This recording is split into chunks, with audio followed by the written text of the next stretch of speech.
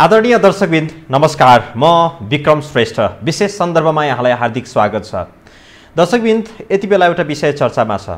बझाङ जिल्लामा बाह्र वर्षीय सम्झना कामी यी बालिकाको निर्ममतापूर्वक हत्या भएको छ।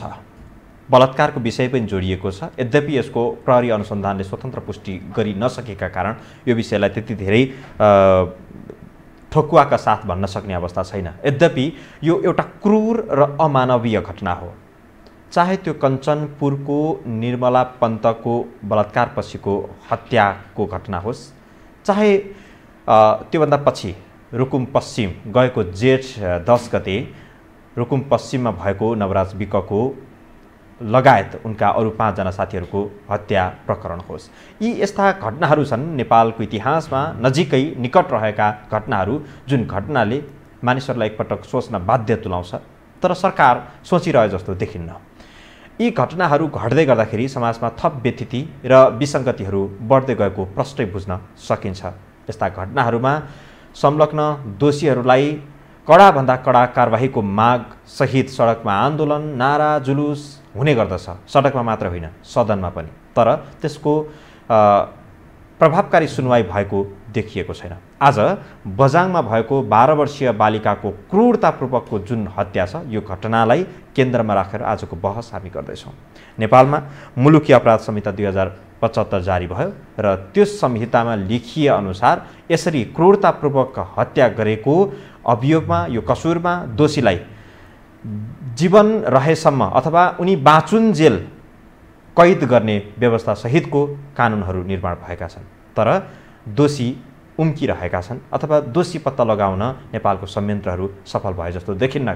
के केही घटनाहरूलाई हेर्ने हो भने आज यही विषयमा केन्द्रित रहेर हामी कुराकानी गर्दैछौँ। आज हामीसँग हुनुहुन्छ नेपालको प्रमुख प्रतिपक्षी दल नेपाली काङ्ग्रेसकी नेत्री केन्द्रीय सदस्य एवं सांसद समेत रहनुभएकी लक्ष्मी परियार र उहाँ नेपाली काङ्ग्रेसको भातृ सङ्गठन नेपाल दलित सङ्घको महासचिव पनि हुनुहुन्छ। स्वागत छ यहाँलाई। नमस्कार धन्यवाद। मैले तपाईँलाई प्रसङ्ग अघि जोडेँ बजाङको मस्टा गाउँपालिका दुईकी बाह्र वर्षीय सम्झना कामी थर्की एकजना बालिकाको क्रूरतापूर्वक हत्या भयो। यो हत्या भएको गत बुधबार र आज हामी सोमबारको दिनमा आइपुग्दै गर्दाखेरि पाँच दिन बितिसकेको छ। घटनामा संलग्नहरू किटान भइसकेको छैन र काठमाडौँको माइतीघरदेखि लिएर विभिन्न ठाउँमा प्रदर्शनहरू भइराखेको छ। सरकारलाई दबाब दिने कार्यक्रमहरू पनि भइराखेको छ। यो तपाईँ हामी सबैले देखिराखेका छौँ। यो घटनालाई तपाईँले कसरी हेर्नु भएको छ? यसको पहल के भइरहेको छ? सबैभन्दा पहिले त अहिले जुन एउटा हामीले चाहिँ नयाँ संविधान बनिसके पश्चात देशमा सँगै लोकतान्त्रिक गणतन्त्र स्थापना भइसके पश्चात यो विशेष घटिरहेका घटनाहरू चाहिँ यति धेरै एउटा दिनानुदिन बढेर जाने अवस्था हुँदैन होला भन्ने हामीले सोचेका थियौँ। यद्यपि आज फरक तरिकाले चाहिँ देशमा यो खालको घटना घटिरहेको छ। यहाँले अघि जोड्दै गर्दाखेरि रुकुमलाई जोड्नुभयो त्यसै गरेर दुई नम्बर प्रदेशका कुरा गर्ने हो भनेदेखि प्रहरी हिरासतमै भएका युवाहरूलाई चाहिँ त्यहाँ कुटी कुटी मारिएका कुराहरू छन्। अहिले पछिल्लो समयमा विशेष गरी सम्झिना सम्झना कामी जो बजाङ बाह्र वर्षको बालिकामाथिको यो विभत्स हत्या यसलाई मैले चाहिँ देशमा कानुन बनेका कानुन पनि कार्यान्वयन नहुने र अर्को कुरा जुन एउटा जातीय विभेद र यो जुन दलित समुदायमाथि भएका आघात र यो चाहिँ बारम्बार बारम्बार त्यही समुदायमाथि लक्ष्य गरेर गरिरहेका जुन खालको यो हत्या हिंसा छ यो चाहिँ अहिले पनि अहिले यसो हेर्दाखेरि सरकारको चाहिँ अलिक कमजोरी पनि हो जस्तो मलाई लाग्छ र जुन एउटा चाहिँ सुरक्षा निकायदेखि लिएर प्रशासनिक जुन ढाँचा छ त्यसपछि न्यायालयको चाहिँ जुन खालको एकदम सुस्त रूपमा चाहिँ अगाडि बढिरहेको चाहिँ यो संरचना छ यसले पनि यो घटनाहरू चाहिँ दोहोरिरहेको हो जस्तो मलाई लाग्छ। तपाईँले खास यो विषयमा केन्द्रित हुँदाखेरि चाहिँ बाह्र वर्षीय सम्झनाको हत्या प्रकरण। तपाईँहरूले केही अनुसन्धान अध्ययन त गर्नुभयो होला किनभने यो समुदायगत हिसाबमा पनि तपाईँहरूसँग जोडिएको विषय र अहिलेसम्म भन्ने हो भने दलित समुदायमाथि जसरी विभेद गरिएको छ भनेर निएको छ र धेरै ठाउँमा त्यो देखिएको पनि छ। यो घटना के कति मात्रामा त्यो विभेदसँग जोडिएको छ र यो घटना खास के हो? तपाईँहरूको अध्ययन अनुसन्धान के छ? अब अहिले खास गरी हामीले हेर्दाखेरि एक खालको चाहिँ जुन एउटा सामाजिक रूपमा विभेदमा परेको समुदाय त्यसमा पनि गरिबीको रेखा मुनि रहेको समुदाय। हामीले अहिले सबै कुरालाई जोडेर हेर्ने हो भनेदेखि दलित समुदाय भनेको सामाजिक आर्थिक राजनीतिक शैक्षिक रूपमा चाहिँ पछाडि पारिएको समुदाय हो।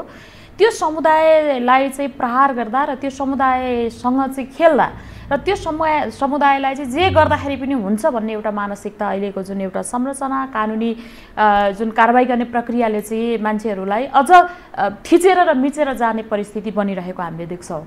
त्यसैले अहिले जुन बजाङमा भएको घटनाको बारेमा भन्ने हो भनेदेखि त्यो एकजना गरिब परिवारमा त्यो पनि घरमा आमा नभएको बालिका बाहिर कमाउन गएकी आमा र त्यसमा पनि जुन एउटा अहिले अहिले जुन आरोपमा यसले यो पछाडि पुष्टि हुँदै जाने कुराहरू होला तर हामीले अहिले सानो सूक्ष्म तरिकाले हामीले हेर्दाखेरि र हामीले त्यहाँ सोधपुछ गर्दाखेरि क्रिमिनल रूपमा चाहिँ रहिरहेको एकजना युवा होइन?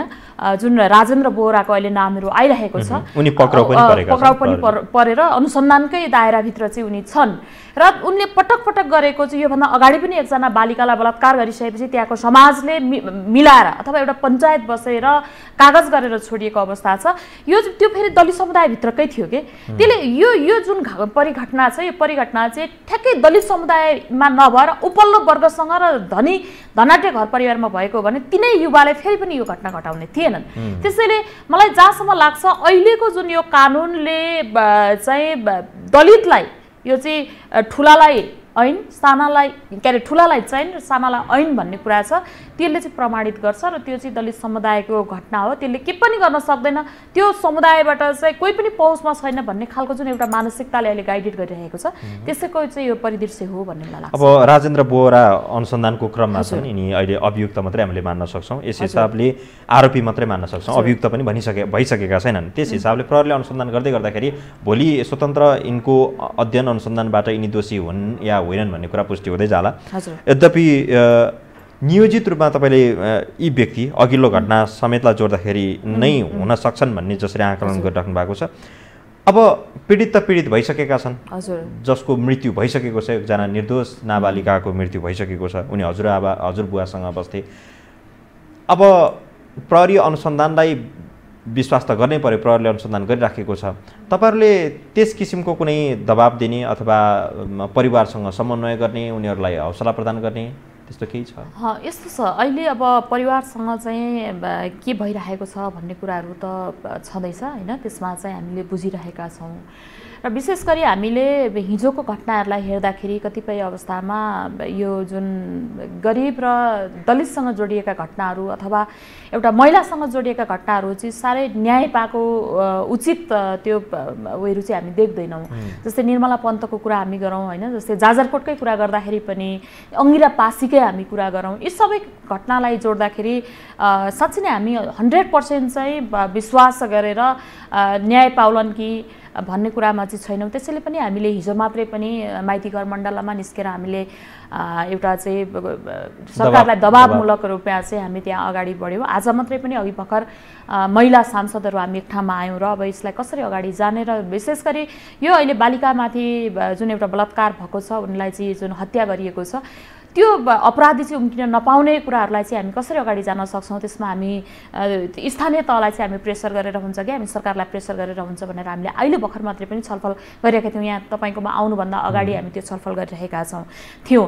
त्यसैले हामीलाई के विश्वास अझै पनि लाग्दैन भने अहिले जुन सरकारको एक खालको एककोल्टो भन्ने लाग्छ मलाई उहाँहरूलाई जे आवश्यक लाग्छ त्यो आवश्यकता अनुसार चाहिँ उहाँको चाहिँ पदीय दायित्व अथवा त्यो पदलाई चाहिँ अझ निरन्तरता दिने अथवा पदलाई चाहिँ उच्च वर्ग उच्च तरिकाले चाहिँ आफू कुन ठाउँमा स्थापित हुने भन्ने तरिकाले चाहिँ गएको देखिन्छ। तर सरकारले निम्न स्तरका गरिब र भनौँ न दलित समुदायका हक अधिकारलाई स्थापित गर्नको लागि चाहिँ त्यति सिरियस भएको देखिँदैन।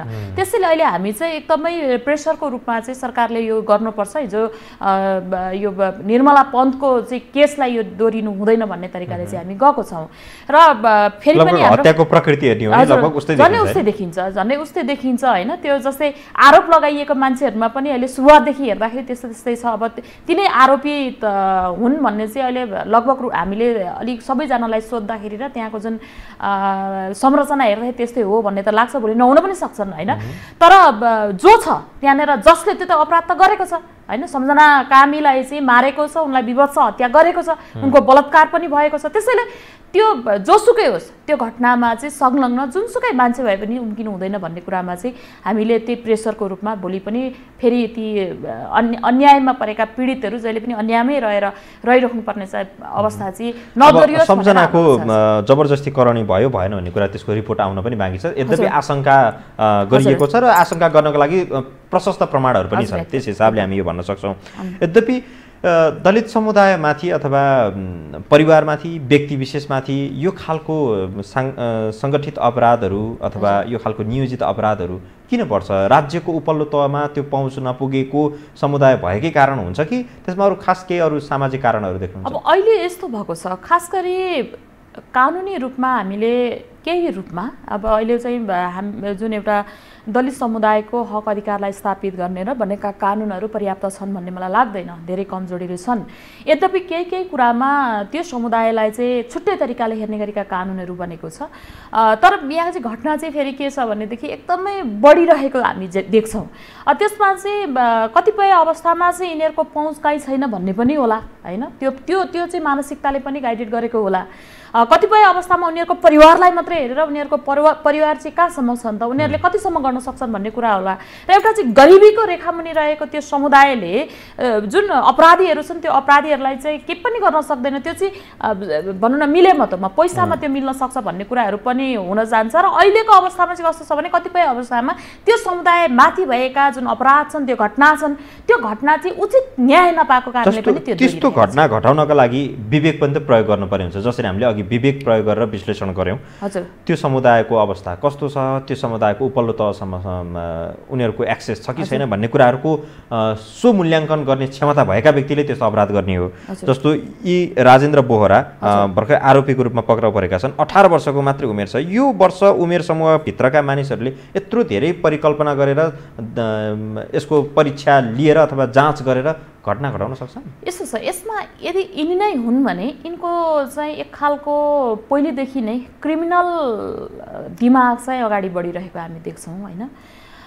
त्यहाँका केही सांसदहरूसँग हामीले छलफल गर्दाखेरि पनि के थियो भने उनीले योभन्दा अगाडि पनि एकजना बालिकालाई नै बलात्कार गरेर त्यसपछि समाज मिलेर मिलाएको कुरा। त्यस पछाडि उनले पटक पटक त्यही ती बालबालिकाले लगाएका साना सुनका मुन्द्रासम्म चाहिँ उनले चाहिँ लुट्ने अथवा जुन मार्ने धम्की दिइराख्ने र उनको चाहिँ एकदमै क्रिमिनल सोचाइ भएको कुरा एउटा रह्यो। र अर्को कुरा सत्र अठार वर्ष पुगिसकेका मान्छेहरू अहिलेको यो चाहिँ जुन यो फेसबुक भयो होइन यो चाहिँ मिडियाहरूको जुन छ होइन सामाजिक सञ्जालमा उनले हेरिराख्दाखेरि कसलाई चाहिँ यसरी छुयो भने कसलाई चाहिँ यसो गरौँ भनेदेखि भरिसकमा बस्न सक्छु त भन्ने खालको मानसिकता बनाउन सक्छ त्यो मान्छेले।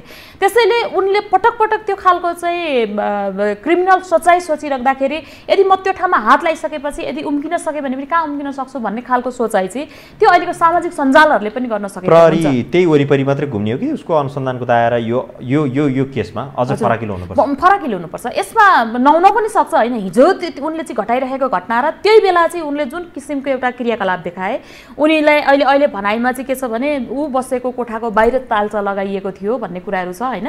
त्यसैले उनी त्यसरी पक्राउ परेर आएको छन्। त्यो एउटा सानो दायरा हो। तर भोलि यदि साँच्चै नै अरू पनि अपराधी थिए र उनीहरू चाहिँ उम्केर गए भनेदेखि त त्यो जुन पीडित बालिकाले चाहिँ त्यो उसलाई चाहिँ अपराध गर्ने अपराध मान्छे त छुट्ने भयो त्यसैले यसलाई फराकिलो दायराबाट हेर्नुपर्छ र फराकिलो दायराबाट चाहिँ सूक्ष्म तरिकाले चाहिँ अपराधीहरू खोज्ने प्रक्रियामा लाग्नुपर्छ। हो प्रहरीले यसमा आफ्नो कर्तव्य निभाउँछ नै। खोज नीति गर्ला अनुसन्धान गर्ला दोषी पहिचान गरेर कारवाहीको दायरामा पनि पुर्याउला त्यो सँगसँगै तपाईँहरू जस्तो महिला अगुवाहरू हुनुहुन्छ दलित समुदायको अगुवा हुनुहुन्छ नेत्री हुनुहुन्छ तपाईँहरू एकै ठाउँमा सङ्गठित भएर यस्ता विषयहरूलाई निरुत्साहित गराउनुपर्छ भन्ने लभिङमा चाहिँ किन लाग्न सक्छ मैले एकदम वास्तवमा हामी अलिक पछाडि पऱ्यौँ होइन? हिजो चौसठी सालको संविधान सभामा संविधान बनाउने बेलामा हामी पटक पटक महिला सांसदहरू एक ठाउँमा आउँथ्यौँ र विशेष गरी अहिले सबैभन्दा पछाडि पारिएको र सधैँ हिंसामा रहने रहनुपर्ने घरेलु हिंसा होस् बाह्य हिंसाहरू होस् यी यावत थोकले चाहिँ पीडित रहनुपर्ने महिलाहरूका बारेमा हामी पटक पटक छलफल गर्थ्यौँ। होइन संविधानमा लेख्ने बेलामा पनि हामीले ती कुराहरूलाई चाहिँ के गर्न सकिन्छ भनेर हाम्रो छलफल हुन्थ्यो। यद्यपि अहिले कुनै बेलामा हामी भेटेको बेलामा हुन्छौँ तर सङ्गठित रूपमा तपाईँले भन्नुभयो जस्तो हामी गर्न सकेका थिएनौँ। र आज नै मात्रै अघि त्यसैले मैले भने अब यसरी हुने रहेनछ। हिजो जसरी हामीले चाहिँ चौसठी सालको संविधान सभामा हामी एक एकजुट हुँदै हामीले महिलाका मुद्दाहरूलाई उठायौँ। त्यसका प्रतिफलहरू केही रूपमा अहिले पनि हामीले चाहिँ संविधानमा लिखित हुन सकेको छ होइन? त्यो कुरा हो। तर अब पनि हामीले त्यतिखेर भइहाल्यो अब हामी केही पनि नगरेर गए गयो भने हुन्छ भनेर सोच्न नहुँदो रहेछ भनेर त्यो खालको चाहिँ हामीले अनुभूति गऱ्यौँ र आजबाटै हामीले चाहिँ फेरि सांसदहरू बसेर हामी जति काठमाडौँमा चाहिँ एभाइलेबल छौँ त्यति सांसदहरू बसेर हामीले चाहिँ छलफल गऱ्यौँ र जस्तै प्रतिपक्ष पार्टीको चाहिँ हाम्रो पुष्पा भूषालज्यू उहाँ चाहिँ के अरे सचेतकज्यू पनि हुनुहुन्छ। त्यसै गरी नेकपाको सचेतकज्यू बिन्दा पाण्डे यहाँले चिन्नुहुन्छ। बिन्दा पाण्डेज्यूले चाहिँ यसको सहजीकरण पनि गर्नुभयो आज हामी भर्खर मात्रै बसेर छलफल गरेर केही एक दुईवटा चाहिँ तपाईँहरू संविधान निर्माण गर्दाखेरि त्यसै गरी छलफलमा जो बस्नु भएको थियो त्यसको आज पाँच छ वर्षपछि फेरि एकचोटि छलफलमा बस्दै हुनुहुन्छ। म भन्दैछु विक्रमजी। यही केसलाई नै हामीले खासमा आधारै यही केसलाई बनाएर हामीले के गर्यौँ भने झन्नै यो वैशाखदेखि असारसम्ममा छ सय बयालिसवटा चाहिँ दर्ता भइसकेका यो बलात्कारको केस रहेछ क्या। होइन? एक सय छयासीजना छयासी बालिकाहरूलाई चाहिँ कोसिस गरेको। होइन? त्यो चाहिँ जबरजस्ती गर्न जबरजस्ती करनीको लागि चाहिँ कोसिस गरेका केसहरू रहेछन्। त्यसरी यो चाहिँ औसतमा यो दिनमा सातजनालाई चाहिँ भनौँ न प्रत्यक्ष रे रेवै गरेको होइन? दैनिक रूपमा त्यो आउँदो रहेछ होइन? दुईवटा चाहिँ प्रयास गरेका घटना आउँदै हुँदो रहेछन्। यी कुराहरूमा पनि हामीले छलफल गऱ्यौँ र त्यसैले हामीले त्यहाँ बसेर के पनि भन्यौँ भनेदेखि हामीले चाहिँ यो सार्वजनिक महत्त्वका छलफलका बारेमा पनि हामीले संसदभित्र हामीले छलफल गरेका छौँ होइन? हामीले सङ्कल्प प्रस्तावै हामीले पास गरेका छौँ। त्यहाँ चाहिँ सबै महिलाहरूको महिला सांसदहरूको चाहिँ सहकार्यबाट त्यस पछाडि त्यहाँका पुरुष चाहिँ सांसदहरू पनि धेरै बोल्नुभयो त्यो बेलामा होइन? हामीले यसलाई चाहिँ सङ्कल्प चाहिँ पास गरिसक्यो। यद्यपि अहिले जुन यी घटनाहरू के भएर चाहिँ घटिरहेका छन् त भन्ने कुरामा पनि हामीले छलफल गऱ्यौँ र अब हामीले एउटा निचोड केमा पुग्यौँ भनेदेखि अब यो भइरहेको कानुनबाट पनि अलिकति जबरजस्त कानुन हामीले बनाउनुपर्छ। हुन त हाम्रो देशमा जुन यो फाँसीको सजाय हुनुपर्छ भन्ने खालको चाहिँ माग राख्ने अवस्था त होइन होइन? हामीले विभिन्न खालको चाहिँ मानवाधिकार सम्झौताको कुराहरू पनि आउँछन्। यद्यपि हामीले के भन्यौँ भनेदेखि अब यसै गरेर घटना घट्दै जाने हो भनेदेखि कडा खालको र जबरजस्त खालको चाहिँ कानुन हामीले बनाएनौँ भनेदेखि हाम्रा बालिकाहरूलाई बचाउन हामीलाई गाह्रो छ। होइन? त्यसैले हामीले के भन्यौँ भने जस्तै सोह्र वर्षभन्दा मुनिका जस्तै मैले भन्दैछु सोह्र वर्षभन्दा मुनिका चाहिँ बाल बालि के अरे बालिकाहरूलाई चाहिँ रेप गर्ने जुन एउटा ऊ छ त्यो चाहिँ अपराधीहरू छन् उनीहरूलाई फाँसीकै सजायको लागि पनि अब हामी छलफल गरौँ कि? होइन? अब अति भयो। अब त अति भइसक्यो भन्ने कुराबाट पनि त्यहाँ निकै सांसदहरूले बोल्नुभयो होइन? अब हामी यो चाहिँ विभिन्न हामी लयर्सहरूसँग पनि हामी छलफल गर्छौँ बुद्धिजीवीहरूसँग पनि छलफल गर्छौँ र यसलाई हामी चाहिँ कानुन पनि हामीले परिवर्तन गरेर हुन्छ भने यसरी जाउँ भन्ने कुराहरू पनि भयो। अर्को कुरा विक्रम चाहिँ हामीले के भन्यौँ भने अहिले कतिपय घटनाहरू चाहिँ जुन यो स्थानीय तहको चुनाव पश्चात स्थानीय तहमा नै त्यहाँका चाहिँ प्रतिनिधिहरू भएर चाहिँ मिलाउने कि? जस्तै यही त जुन राजेन्द्र भाइको चाहिँ पहिलेको त्यो घटनालाई यदि त्यसलाई चाहिँ दरो किसिमले उनलाई चाहिँ जुन बलात्कारको केसमा चाहिँ भागीदार बनाएको हो भने अहिले अर्को बालिका चाहिँ नमर्नु पर्थ्यो कि त। होइन? तर त्यहाँनिर चाहिँ जुन चाहिँ उनी उनलाई पञ्चायत बसेर अहिले चाहिँ गणतन्त्र आइसकेको छ देशमा कानुन बनिसकेको छ हामी के गर्दैछौँ भनेदेखि पञ्चायत बसाएर हामी सहमति गराउँदैछौँ। होइन? त्यो भएकाले यी यस्ता केसमा चाहिँ जुन सहभागी हुने जनप्रतिनिधिहरूलाई चाहिँ अबदेखि जनप्रति प्रतिनिधि हुन नपाउने अथवा सामाजिक बहिष्कार गर्ने कुराहरूलाई पनि अगाडि बढाउने हो कि? होइन? त्यो जुन यस्ता जुन अपराधहरू छन् यी अपराधहरूलाई चाहिँ साँची बस्छ नि यसलाई मिलाउनको लागि। बाबुआमा नै किन नहुन्? उनीहरूलाई पनि त्यो अपराधीको संज्ञाभित्र चाहिँ अपराधीमा चाहिँ बाँध्ने हो कि?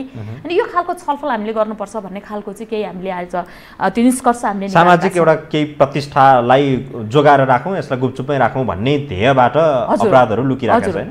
त्यो यही हो। वास्तवमा कस्तो पनि हुँदो रहेछ भने जस्तै अहिले हामीले अहिले यहाँले जुन एउटा विषय गर्नुभएको छ दलित समुदायभित्रका कुरा गर्ने हो भनेदेखि सामाजिक आर्थिक राजनीतिक शैक्षिक रूपमा पछाडि पारिएको समुदाय उसँग आर्थिक हुँदैन। होइन?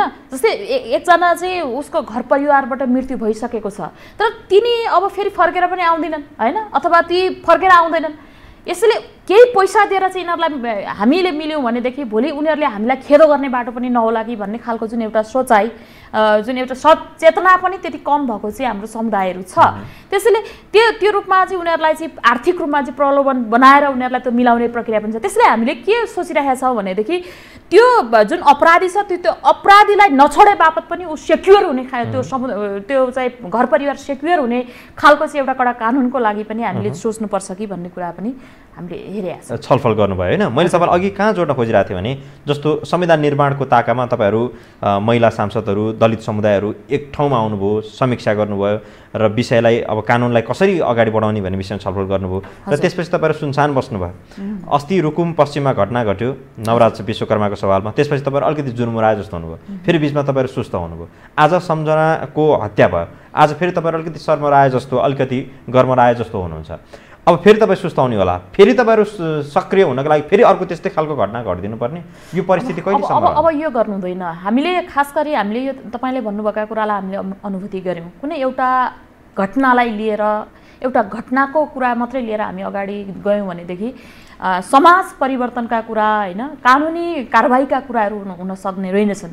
त्यसैले हामीले चाहिँ नीतिगत रूपमा नै काहीँ हामी काम कमजोरी छौँ भने नीतिगत रूपमा हामीले सच्याउनुपर्छ यति राम्रो नीति छ जस्तो मुलुकी अपराध संहिता दुई हजार पचहत्तरले के भन्छ भने भदौ एक गतिदेखि जो लागू भयो त्यसमा क्रूर यातना दिई निर्ममतापूर्वक ज्यान मार्ने अपहरण वा शरीर बन्धक बनाई ज्यान मार्ने तथा जबरजस्तीकरणी गरी जबरजस्तीकरणी गरी ज्यान मार्ने जस्ता कसुरमा संलग्नलाई अब जीवित रहेसम्म कैद सजाय हुने व्यवस्था गरिएको छ भनेपछि योभन्दा कठोर कानुन त आवश्यक नहोला। यसलाई निर्ममतापूर्वक प्रयोग गर्न सक्नु विक्रमजी यसमै हामीले के भन्यौँ भनेदेखि यो चाहिँ अहिले सबैभन्दा ठुलो कुरो कस्तो रहेछ भने राजनीतिक संरक्षणका कुराहरूले गर्दाखेरि पनि कतिपय कानुनहरू लागू गर्नको लागि गाह्रो हुँदो रहेछ। होइन? त्यसैले हामी आफै कठोर भएर आउनुपर्छ। कुनै राजनीतिभन्दा पनि एउटा मानव चाहिँ सबैभन्दा ठुलो कुरो हो भनेर चाहिँ जानुपर्छ भन्ने खालको हाम्रो सोचाइ पनि भएको छ र कुनै एउटा मुद्दालाई मात्रै लिएर भन्दा पनि समग्र रूपमा चाहिँ यी घटनाहरू किन घट्छन् भनेर समग्र रूपमा नै लिएर जानुपर्छ र हामीले कहाँ कहाँ प्रेसर गर्नुपर्ने हो? कहाँ कहाँ हाम्रो चाहिँ प्रेसर पुगेको छैन? किन हामी कारो कानुन कार्यान्वयन कार्यान्वयनहरूमा चाहिँ हामी चुकिरहेका छौँ भन्ने कुरालाई चाहिँ मूल जरो कहाँ नेर हो भन्ने पत्तो लगाउनुपर्छ।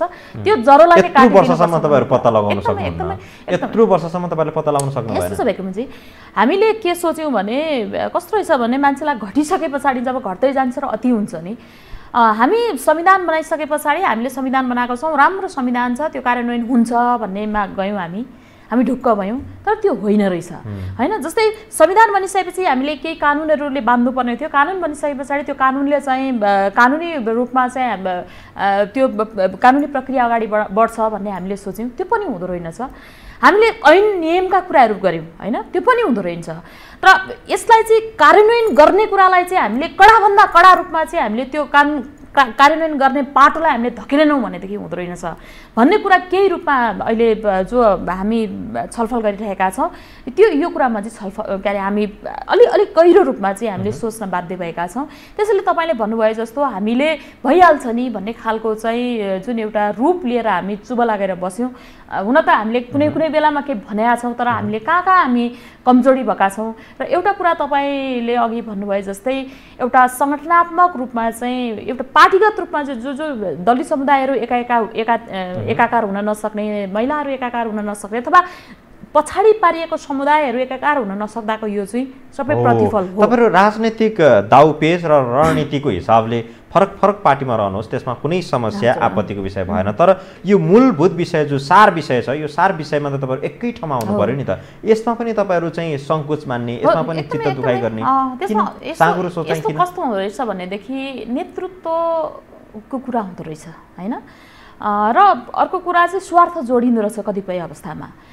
अहिलेको अवस्था हेर्ने हो भनेदेखि हामी त्योभित्र पार्टीगत रूपमा पार्टी क कसको पार्टी कसरी बलियो बनाउने? अझ त तपाईँलाई म भनौँ मैले यो ठाउँमा भन्नैपर्छ हुन त म प्रतिपक्षी पार्टीको भएर होइन। हिजो हामी सरकारमा हुँदा हामीले निकै सवालहरूलाई पार्टी सरकारमै हुँदा पनि हामी बाहिर निस्केको थियौँ। तर अहिले जब जुन यो बहुमतको सरकार बनिसके पछाडि झन् दुई तिहाईको सरकार भनेर भन्छु म होइन जे गर्दाखेरि पनि जुन एकलौटी चाहिँ पास गर्न सक्ने जुन सरकार बनिसके यति बलियो र शक्तिशाली सरकार बन्दाखेरिको अवस्था भनेपछि साँच्चै नै जनताको लागि देखेन कि? जनताको लागि भएन। हिजो संविधान बनाउँदाको अवस्था भनेको त क्रिटिकल अवस्था थियो नि सङ्कटकालीन अवस्था थियो। त्यो अवस्थामा हामी एक ठाउँमा आउन सक्यौँ। तर कानुन बनिसकेर पछाडि जुन एउटा सरकारले कानुनलाई तदरुकताका साथ अगाडि लान सकेन भने हुँदो रहेछ। त्यसैले अहिलेको मलाई नेतृत्व फेलियर हो भन्ने मलाई लाग्छ। जुन प्रधानमन्त्रीज्यूले ठिक छ नेतृत्व फेलियर भयो। सबै कुराहरू प्रधानमन्त्रीलाई दोष लगाएर मात्रै पनि यसको समस्या समाधान हुँदैन लक्ष्मीजी। अब विषय के भने उहाँहरूले कानुनलाई कार्यान्वयन गराउन सक्नुभयो भने आफ्नो ठाउँमा छ। दबाब दिने ठाउँमा त तपाईँहरू हुनुहुन्छ नि। तपाईँहरू त सक्रिय हुनुहुन्छ। स्वस्थ हुनुहुन्छ। नेकपामा रहेको काङ्ग्रेसमा रहेको समाजवादीमा रहेका सबै दलित समुदायहरू र त्यसमा पनि महिलाहरू सङ्गठित भयो भने एउटै स्वर गऱ्यो भने त प्रधानमन्त्री केपी शर्मा ओलीको पनि होला नि त। यसमा कस्तो हुँदो रहेछ भने नि यो सुन्नेले कसरी सुन्छन् भन्ने पनि हुँदो रहेछ हेर्नु होइन? अब अहिलेकै परिस्थिति हेर्ने हो भनेदेखि वास्तवमा हाम्रो केही प्रेसर हामी चाहिँ कम गर्न धेरै गर्न सकेनौँ होला। कतिपय अवस्थामा अहिले झन् यो एकदमै ठुलो चाहिँ यो कोरोना भाइरसको कारण पनि हामी सडकमा निस्किन सकेको छैनौँ। होइन? यो यो यसैलाई दाउ छोपेर अहिले मैले म भन्दैछु यसैलाई दाउ छोपेर अहिलेको सरकारले जुन हामी चाहिँ सडकमा संविधान के अरे संसदभित्र पनि त हामीले कुरा उठाउँथ्यौँ होला नि। हामीले जनताका कुराहरूलाई जनताका जनतालाई गर्नुपर्ने जनताका लागि गर्नुपर्ने कुराहरू चाहिँ अहिले हाम्रो सदन बन्द भयो। होइन? एकाएक बन्द भएको अवस्था छ। हामीले बोलिराख्दाखेरि चाहिँ कतिपय अवस्थामा हाम्रा स्वरहरू चाहिँ माथि पुग्न नसकेको अवस्था छ र हामी सडकमा हामी जाँदाखेरि हाम्रो अवस्थाहरू यहाँहरूले सुन्नुभयो जस्तै जाजरकोटको केसलाई हामी लिएर चाहिँ पटक पटक त्यो के अरे रोडमा जाँदाखेरि कति मान्छेले चाहिँ यो कोरोनाले चाहिँ आक्रान्त भएको बेलामा चाहिँ यी पागलहरू भन्ने खालका कुराहरू पनि नआएका होइनन्। यद्यपि हामीले त्यो समुदायलाई परेको पीडा त्यो पीडितहरू चाहिँ अझ पीडित भइरहेको अवस्थालाई हामीले आत्मसात गर्दै हामी मरेर केही पनि हुँदैन भनेर हामी बाहिर निस्क्यौँ होइन? तर यहाँले भन्नुभयो जस्तै कतिपय जुन जनताले अपेक्षा गरेका चाहिँ प्रेसरको रूपमा हामी अगाडि आउन सकेका छैनौँ होला। तर सुन्नेले पनि सुनिँदो रहेछ कि? हामीले सानोतिनो बोलेको चाहिँ त्यो सुन्ने अवस्था छैन र यहाँ यहाँले कतिपय थाहा पनि छ हाम्रा मागहरूलाई लिएर जाँदाखेरिको जुन एउटा सरकारले सुन्ने र उहाँले बोल्ने प्रक्रिया प्रक्रियालाई अथवा उहाँको चाहिँ जो एउटा के भन्छ उहाँको जुन शैली छ त्यो शैलीले गर्दाखेरि पनि कतिपय अवस्थामा मान्छे निराश भएर फ्रस्ट्रेसन भएर चाहिँ निस्किरहेको अवस्था छ। यद्यपि हामी अब छोड्दैनौँ। जस्तो सदनमा? सदनमा आवाज उठाउनु र सडकमा आवाज। उठाउनु मात्रै यसको विकल्प त होइन। यसका थुप्रै उपायहरू छन् दबाब दिनका। लागि। जस्तो अहिले तपाईँहरू कहाँनिर फसिरहनु भएको छ भने अघि मैले भने पार्टीगत भित्र पनि तपाईँ नेपाली काङ्ग्रेसबाट प्रतिनिधित्व गर्नुहुन्छ। नेपाली काङ्ग्रेसभित्र पनि देउबा खेमा र पौडेल खेमा। तपाईँ कुन खेमा हुनुहुन्छ त्यतातिर चर्चा नगरौँ अहिले। तर तपाईँहरू खेमा जोगाउने गुट जोगाउने अनि पार्टी जोगाउनेतिर मात्रै तपाईँहरूको ध्यान केन्द्रित भयो। अघि मैले जोडेको थिएँ। सबै पार्टीका सबै यो सरकारवालाहरू तपाईँहरू जस्तो नेतृत्वहरू एकै ठाउँमा आएर चाहिँ हस्ताक्षर गरेर प्रधानमन्त्री केपी शर्मा ओली समक्ष एउटा ज्ञापन पत्र मात्रै बुझाउने कार्यक्रम गर्न सक्यो त्यसलाई निरन्तरता दिइरहने त्यसलाई निरन्तर रूपमा दबाब दियो भने त कहीँ न कहीँ त्यसको परिणाम त आउँछ होला नि। यसमा यसमा यस्तो छ। यहाँले भन्नुभयो जस्तै अब कतिपय अवस्थामा हामीले स्वस्थ राजनीति गर्न सकेको अवस्था छैन। नेपालमा त्यो पनि एउटा विडम्बना हो होइन? तपाईँले भन्नुभएका कुरामा धेरै हदमा चाहिँ सत्यता छ। यद्यपि मेरो पार्टीमा पनि गुट उप- उपगुट नभएको होइन अहिले अब कतिपयले चाहिँ कसले। पर्नुभयो होइन, मैले होइन? त्यसमा छ कतिपय केही केही रूपमा त्यस त्यसले नछुने होइन यद्यपि सरकारमै भएका पार्टीहरू पनि गुट र अपगट र मन्त्री जोगाउने कुराहरूमा लागेको छ र मैले यहाँलाई भन्नुपर्छ विक्रमजी हामीले पटक पटक प्रधानमन्त्रीलाई ज्ञापन पत्र बुझाउन जाँदा र पटक पटक हामी चाहिँ प्रधानमन्त्रीलाई परैबाट भेटेर चाहिँ हामी केही भन्छौँ भन्दाखेरि पनि त्यो सचिवालयले हामीलाई चाहिँ कतिपल्ट ठाउँ दिँदैन। होइन त्यसैले हामी सडकमा निस्किनु पर्ने हुन्छ। म तपाईँलाई भनौँ हामीले जुन चाहिँ- होइन, नेकपाको समेत दलित समुदायका अगुवाहरूलाई साथमा लिएर जानुभयो अब यसमा सुन्नु। मैले यसमा तपाईँलाई के भन्नुपर्छ भने अहिले नेकपाको सरकारमा भएका जस्तै दलित समुदायको कुरा गर्नुभयो हामी एक ठाउँमा आउन सकेका छैनौँ कि। हामीले जाजरकोटको केसलाई लिएर उहाँहरूसँग चाहिँ हामी एक ठाउँमा जाउँ एकीकृतबाट आन्दोलन गरौँ। तपाईँहरूको एक्सेस छ तपाईँहरूको पार्टी सरकारमा छ। भन्दाखेरि उहाँहरू अहिलेसम्म चाहिँ एउटा मुद्दा बोकेर आउन तयार हुनुहुन्न उहाँ यो या त्यो भनेर चाहिँ नाउँमा उहाँहरू पर सर्ने र सरकारलाई जोगाइराख्ने सरकारलाई चाहिँ गाली गर्छौ तिमीहरूले कहाँ हुन्छ भन्ने। ए बाबा जो पनि सरकारमा भइसकेपछि सरकार भनेको त एउटा गार्जन हो। जब गार्जनले आफ्नो परिवारको होइन आफ्नो घर परिवारलाई चाहिँ राम्रो हेर्दैन भनेदेखि गार्जनले त भन्नु पर्यो नि दुःख बिचाउने ठाउँ क्या? तर उहाँहरू के गर्नुहुन्छ भनेदेखि प्रधानमन्त्रीलाई गाली नगर सरकारलाई गाली नगर अथवा उहाँहरू त्यो आन्दोलनमा जोडिन चाहनुहुन्न। त्यो अहिले पनि हामी चाहिँ हिजो मात्रै सम्झना कामीको त्यो जुन उसमा चाहिँ हामी विरोध गरौँ। एउटा सरकारलाई चाहिँ साङ साङ ऊ चाहिँ देखाउँ हामीले विरोध गरौँ भनेर साङ्केतिक दबाब मात्रै गरौँ भन्दाखेरि पनि उहाँहरू त्यहाँ आउनुहुन्न। होइन? उहाँहरू कसरी सरकारको चाहिँ हो भलो छ भलो छ राम्रो छ भनेर भनिराख्ने भन्ने खालको जुन एउटा मनोस्थिति छ नि यो मनोस्थितिले गर्दाखेरि पनि आज हामीले कतिपय कुरामा चाहिँ हाम्रो अधिकारलाई स्थापित गर्न नसकेको भन्ने मलाई लाग्छ। किनभने तपाईँको यो ठाउँमा आएर मैले यो कुरा भन्नुपर्छ।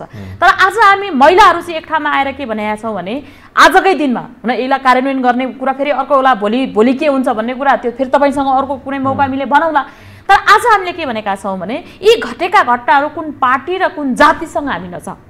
मानवसँग जोडिएर भएका जुन यी अपराधहरू छन् जुन यो खालको विकृतिहरू छ यो विकृत र विसङ्गतिलाई तोड्नको लागि हामी पार्टीभन्दा माथि हामी सबै एक ठाउँमा आएर चाहिँ बनेका कानुनहरूलाई कार्यान्वयन गर्नको लागि हामी लागौँ भनेर चाहिँ आजको हाम्रो बसाइ चाहिँ सकिएको छ। तर दलितभित्रको त्यो बसाइ सकिन गाह्रो भइरहेको छ। दलित समुदाय हामी एकजुट हुन सकेको छैनौँ। अहिले पार्टी के अरे सरकार इतर र के अरे सरकारभन्दा बाहिर सरकार र सरकार इतरका पार्टी भएर हामी चाहिँ हिँड्नुपर्ने अवस्था छ। त्यसैले हामीलाई साँच्चै नै अहिले चाहिँ समुदायलाई न्याय दिलाउनको लागि हामी कमजोर हुन्छौँ कि भन्ने तर सम्झनाहरू कसरी पिल्सिएका छन् राजनैतिक नेतृत्वबाट भन्ने यो एउटा उदाहरण होइन जस्तो आज तपाईँ प्रतिपक्षमा हुनुहुन्छ तपाईँले सरकारलाई खबरदारी गर्नुभयो। भोलि तपाईँहरूको सरकार हुन्छ तपाईँहरू फेरि आज नेकपाको नेतृत्व जसरी चुप्प लाएर बसेछ तपाईँहरू चुप्प लाएर बस्नुहुन्छ नेकपाको नेतृत्वहरू आएर यसै गरी कराउनुहुन्छ भनेपछि न्याय पाउनेले त नपाउने रहेछ। तपाईँहरूको राजनीतिक पिल्सानमा त आखिर परिरहने रहेछ यस्तो छ जस्तै सरकारको सरकारमा अब हाम्रो देश चाहिँ बौद्धले पार्टी भनौँ न छ होइन त्यसमा चाहिँ विभिन्न पार्टीहरूको चाहिँ भोलि चुनाव होला कुन पार्टीले जित्ला कुन पार्टीले सरकार बनाउला त्यो चाहिँ एउटा लोकतान्त्रिक देशमा त्यो हुन्छ। तर सरकारमा बसिसकेको नेतृत्वले यदि काम गरेन भने त दबाब दिन पाउने अधिकार त जनताको छ नि त। होइन? तर जुन चाहिँ मेरो पार्टी भोलि सरकारमा आयो भने पनि मेरो पार्टीको सरकारले केही गरेन भनेदेखि मेरो पार्टीको सरकारलाई गाली गर्नुपर्छ। उसले तैँले यो गर्नुपर्छ होइन त्यो भोलि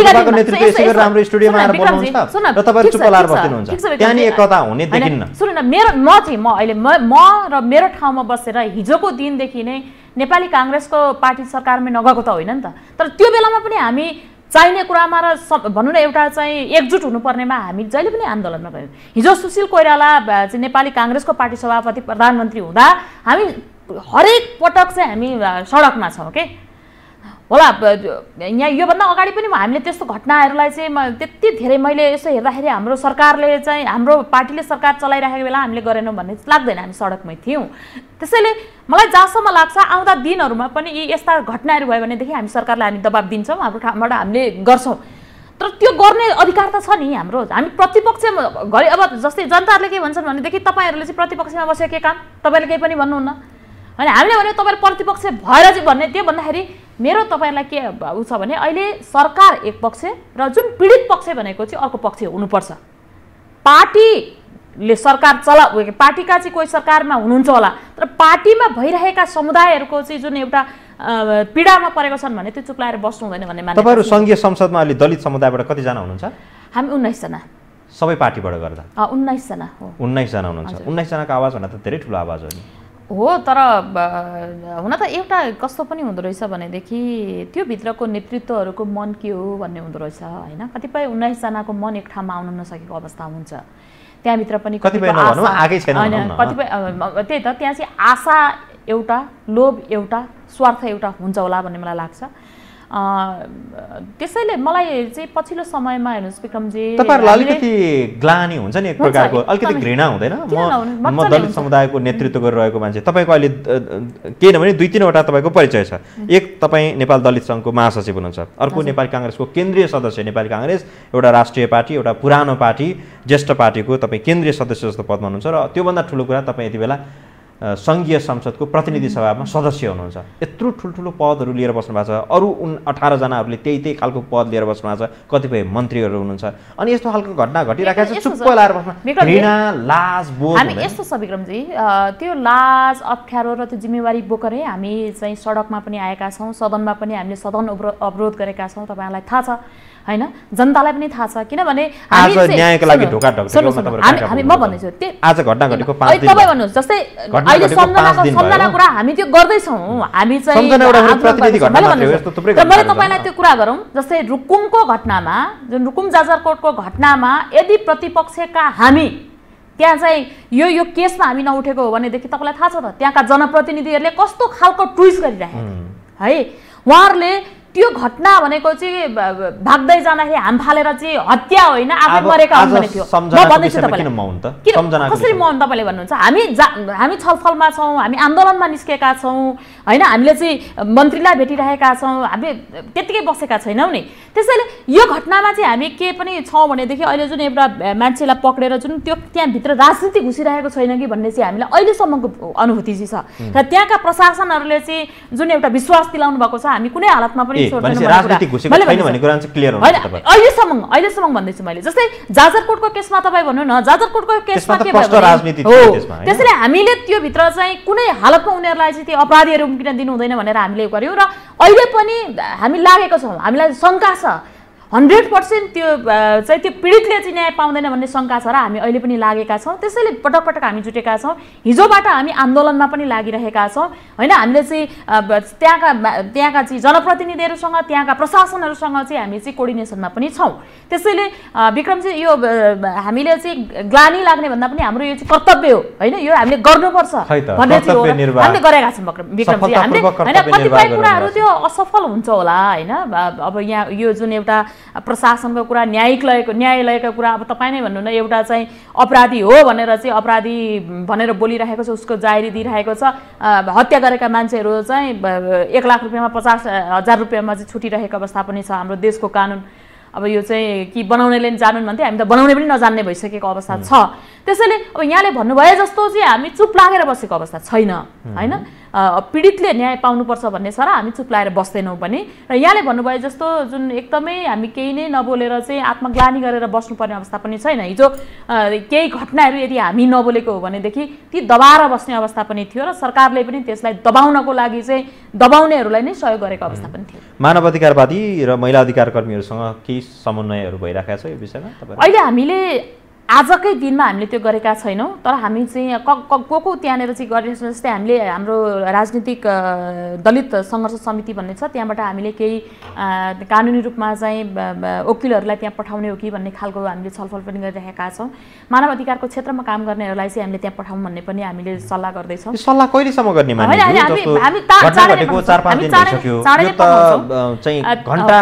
घन्टामा निर्णय गरेर रातारात यसको चाहिँ यस्तो छ नि विक्रमजी अब तपाईँ हामी तपाईँलाई थाहा छ हामीले चाहिँ तुरुन्तै कि त आफू कुदेर जानुपर्ने भयो होइन?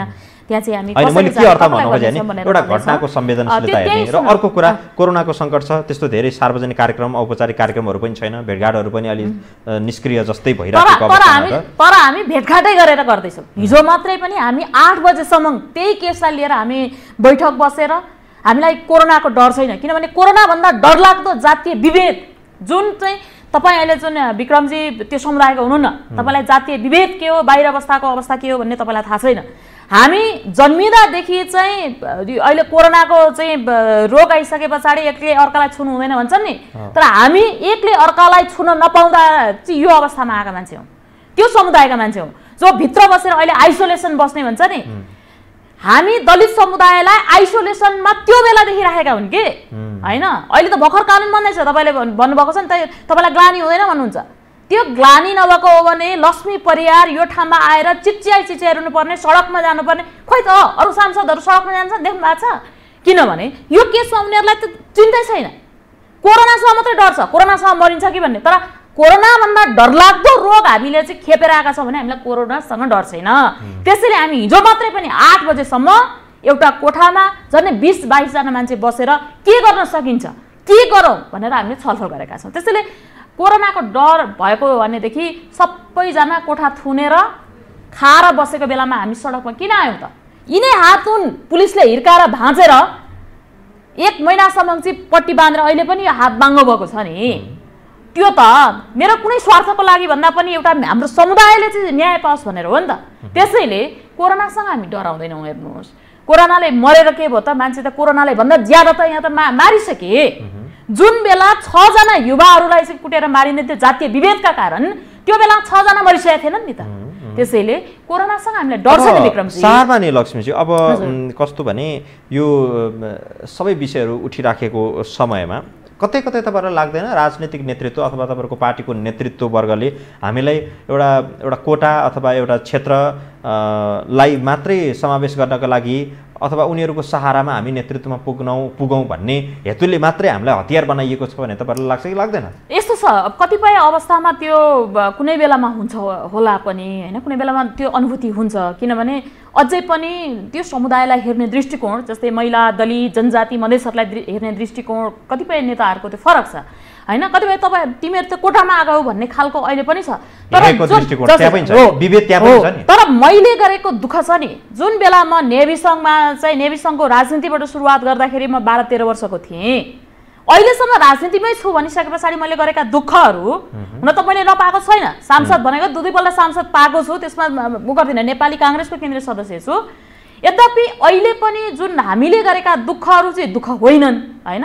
त उपल्लो वर्गका नेताहरूले गरेका दुःख चाहिँ दुःख हुन् भन्ने खालको कुरा हुँदाखेरि चाहिँ वास्तवमा यो के भइरहेछ भन्ने त लाग्छ। तर म आफैलाई फर्केर हेर्दा मैले गरेका दुःख मैले गरेको चाहिँ कामहरूलाई मैले फर्केर हेर्दा यो चाहिँ किन भइरहेको छ? भन्ने खालको अवस्था चाहिँ सिर्जना हुन्छ तर कोटा होइन। अहिले तपाईँले भन्नुभयो जस्तै कोटा कतिपय मेरा पार्टीका नेताले अरू अरू पार्टीका नेताहरूले पनि भन्ने गर्छन्। तर अहिले भनेको त संविधान त यो भागबन्डामा चलिरहेको देश भएको छ संविधानमै चा आठवटा क्लस्टर त यहाँ विभाजन भएको छ नि। अझ त्यसमा त खस आदिको लागि त छुट्टै त्यो स्पष्टीकरण सहित लेखिएको छ कि। त्यसैले मलाई चाहिँ अहिले यो आरक्षण कोटा भन्न मन लाग्दैन हेर्नु। यो चाहिँ अंशबन्डामा चलिरहेको देश छ। तर अंशबन्डाभित्र पनि कुन चाहिँ कुन चाहिँ दाजुभाइ चाहिँ एकदमै सशक्त कुन चाहिँ दाजुभाइ चाहिँ कम भन्ने खालको चाहिँ जुन एउटा सोचाइ र त्यो दिमाग त्यो एउटा दरिद्रताले भरिएको दिमागले मात्रै काम गर्छ। त्यसैले मलाई चाहिँ म आफ्नो ठाउँमा म हेर्दा मैले पर्याप्त काम गरेको छु। मैले सानैदेखि पार्टीभित्र लागेको छु र समाज परिवर्तनको लागि मेरो केही देन छ भन्ने मलाई लाग्छ। मात्रै मैले तपाईँलाई कहाँनिर जोड्न खोजेँ भने तपाईँको ठुलो योगदान छ ठुलो सङ्घर्षको बिचमा तितो अनुभवहरूको साथमा तपाईँ यहाँसम्म पुग्नु भएको छ। सानो सङ्घर्षले तपाईँ यहाँ पुग्नु भएको छैन यो कुरामा दुई मात्र होइन तर तपाईँ यहाँ पुग्दै गर्दाखेरि तपाईँ सँगसँगै खेली हुर्केका समुदाय अथवा ओल्लो घर पल्लो घर छिमेकीहरू त अहिले पनि त्यो विभेदको चपेरामा त परिरहनु भएको छ। छन् विक्रमजी। वास्तवमा यो चाहिँ हाडल किन पुरिएन? मैले तपाईँलाई त्यो हो एकदम। तपाईँले भन्नुभयो जस्तो कुरा त्यसैले अहिले हामी प्रयास गरिरहेका छौँ भने तपाईँलाई थाहा छ नि हामीले के गर्यौँ भने कहिले पनि यो जुन नेतृत्व विकास भनेको एकजनाले मात्रै हुँदैन। होइन जस्तै मेरो समुदायभित्र मैले एक्लैले बोलेर परिवर्तन हुँदो रहेछ। त्यहाँका सबै मान्छेहरू बोल्नु पर्दो रहेछ। त्यसैले हामीले पार्टीमा पनि समावेशी समानुपातिक समावेशका कुरालाई अहिले पटक पटक पनि हामीले चाहिँ घचघचाइरहेको अवस्था छ। संविधानमा पनि हामीले समावेशीका कुरालाई अगाडि ल्यायौँ। त्यति मात्रै नभएर हामीले के गर्यौँ भने संविधानमा के अरे यो जुन निर्वाचन स्थानीय तहको निर्वाचनमा जुन दुईजना महिला मात्रै हुनुपर्छ भन्ने कुरामा हामीले एकजना महिलालाई स्थानीय तहको एउटा सदस्य मात्रै भए पनि हुनुपर्ने प्रावधानलाई हामीले कायम गऱ्यौँ। यो पनि के हुन्छ भने एउटा राजनीति गर्नको लागि चाहिँ खुड्किलो हो। त्यहाँबाट उनीहरू राजनीतिक रूपमा चाहिँ उनीहरू अगाडि बढ्नलाई र नेतृत्व विकासको लागि उनीहरू जानुपर्छ भन्ने छ र यहाँलाई मैले भनौँ म चाहिँ एउटा कुनै संस्था माध्यम म आफै व्यक्ति पनि अब नेतृत्वको नेतृत्व विकास भनेको तपाईँ आफैले आफैलाई पनि गर्नुपर्छ भन्ने कुरामा हामी हरेक जिल्लामा गएर दलित महिलाहरूलाई दलित साथीहरूलाई यो खालको चाहिँ सचेतना होइन? अब तपाईँहरू आउनुहोस् अब तपाईँहरूको पालो तपाईँहरू आउनुपर्छ।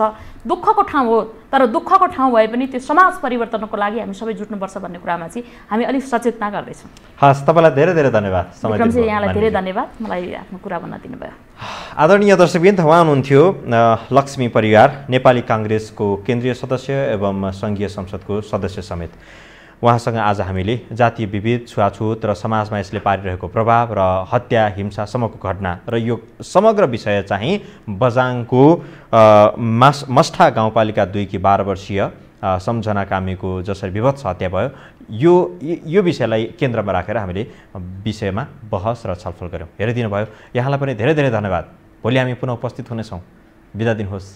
नमस्कार।